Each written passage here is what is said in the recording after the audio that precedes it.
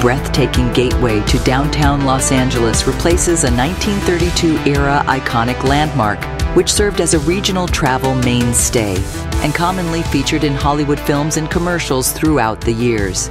After the original 6th Street Viaduct was demolished in 2016, work began on a new and nearly $600 million replacement.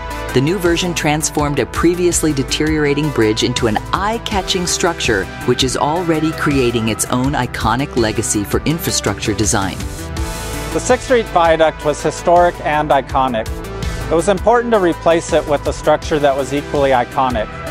But we also wanted it to demonstrate that streets and bridges are not just for cars, but equally for pedestrians and cyclists. The new 3,500 foot long viaduct spans the LA River, the 101 freeway, along with 18 rail lines, while successfully connecting the city's art district with Boyle Heights. The structure is imaginatively framed by 10 lighted pairs of giant concrete arches ranging in heights from 30 feet to 60 feet tall, melding innovative structural technology with an imaginative aesthetic vision.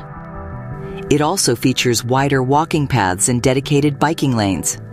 But the new viaduct is more than just a pretty face.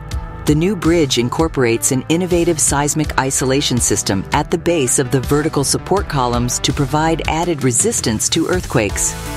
Well, the viaduct is quite wide at 100 foot, so it wasn't practical to add cross bracing between the arch ribs.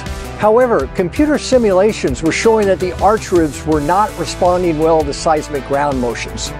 Our solution was to add seismic isolation that was really a game changer for this bridge. Responding to community requests, this summer the project will include development of a 12 acre park underneath the viaduct.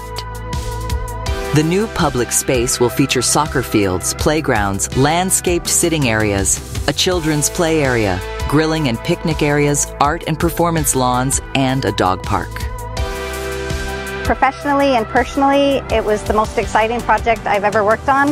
And it's really one of those projects that as a civil engineering student you dream about and hope that someday you'll get to work on a project like this.